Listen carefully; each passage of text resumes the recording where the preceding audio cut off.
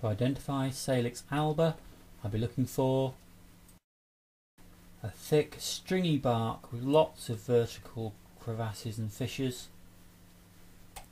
This species is dioecious, so male and female flowers are borne on separate trees. The male catkins, uh, initially coming out of a furry bud, become elongate to about 2 to 3 centimetres, yellowy with pollen.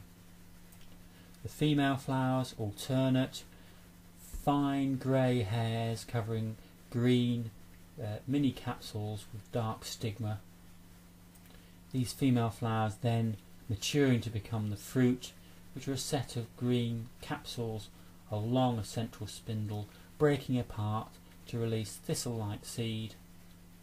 A very noticeable feature of Salix alba is the very white appearance of the foliage and the twig. This is actually caused a lot of fine pubescence of silky grey hairs which covers both sides of the leaf and also the twig.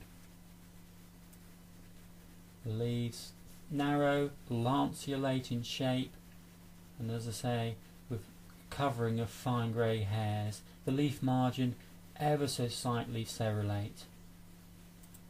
The form of the tree is generally relatively upright, and the what you notice from a distance is this grey-white appearance of the foliage and very fine feathery foliage which moves easily in the breeze. The winter buds alternate.